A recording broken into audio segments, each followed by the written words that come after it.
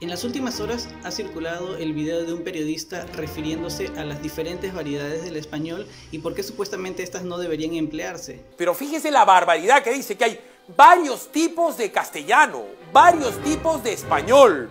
O sea, desafiando a la Real Academia de la Lengua Española. Para comprender qué es lo que quiso decir erróneamente, hay que entender que cualquier lengua, eh, sea el español o cualquier otra, es un conjunto de variedades. Las variedades lingüísticas son efectivamente una realidad.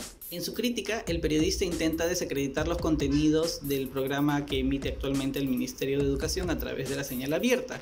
La discriminación lingüística es una de las tantas formas de exclusión que existen en nuestra sociedad.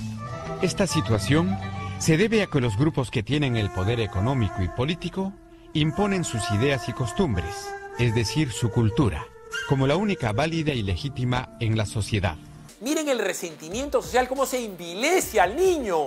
¿Por qué? Porque el niño probablemente tenga una, una abuela quechohablante. El quechohablante no habla, si no habla castellano o lo habla mal, hay que hacer todo lo posible para que lo hable bien. Lo cierto es que las variedades denominadas estándar verdaderamente se han correspondido históricamente con grupos de poder. Si bien es cierto, no necesariamente han sido grupos económicos, siempre han sido grupos de poder. Recordemos que originalmente la Real Academia Española mantiene el lema limpia, fija y da esplendor.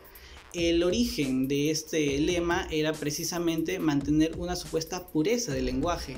Sin embargo, no se consideraba entonces, porque no había estudios profundo, sino era todo más bien empírico, que las lenguas se autorregulan a sí mismas. Pensemos, por ejemplo, que si verdaderamente se hubiera conservado el esplendor y la pureza del lenguaje, todavía tendríamos un léxico más bien cervantino o quizás más antiguo. ¿Por qué no hablaríamos como el mío? Entonces, este es un concepto que se ha tergiversado. Sí es verdad que las variedades estándar se vinculan mayoritariamente con los grupos de poder, tanto es así que normalmente las normas generales de uso de una lengua se corresponden a las capitales de los países. ¿Por qué la variedad estándar en el Perú es la limeña? ¿O por qué la norma de México es la de Ciudad de México? Sabemos claramente, por supuesto, que un peruano iquiteño no habla igual que un piurano, o que un ayacuchano, o que un cusqueño, o que una persona de Lima, ¿verdad? Mote, que dicen mote, ¿no? Dicen, ¿no? Cuando hablas Si hablamos eh, del campo, una palabra hermano, ¿no? Que acostumbramos en el campo. Si hablamos en Lima, les parece mal, se burlan. Con quechua a veces se te sale. El castellano. El castellano y tienes vergüenza de eso. A veces a mí me pasa eso. a nosotros nos sentimos incómodos. En ese sentido parece que como si nos discriminaran, que, que tuviéramos algo malo en pronunciar nuestra, nuestro dejo. Todos hablan variedades diferentes y responden a diferentes actores, pero nada de eso desacredita la propiedad de su variedad lingüística. Vicente Ceballos no habla bien castellano, tiene mote, la manera correcta de hablar castellano, para eso estamos nosotros, te va a decir, los miembros de la Real Academia de la Lengua Española. El periodista ha intentado insinuar que todos deberíamos procurar hablar de una sola manera. Esto es algo totalmente alejado.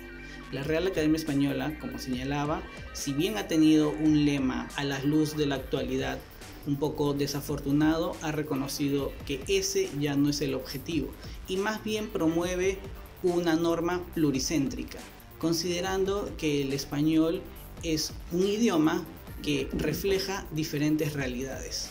Tan es así que en las últimas normas académicas se consideran criterios más flexibles tanto de expresión escrita como hablada. Una persona puede expresarse de un modo particular y eso se conoce lingüísticamente como el idiolecto, las características particulares de un individuo. También puede haber variedades regionales como los dialectos o como los sociolectos, si consideramos criterios sociales. Las variedades lingüísticas, por lo tanto, son realidades y no deben ser censuradas. Todas estas son pertinentes en el ámbito en el que se las emplea.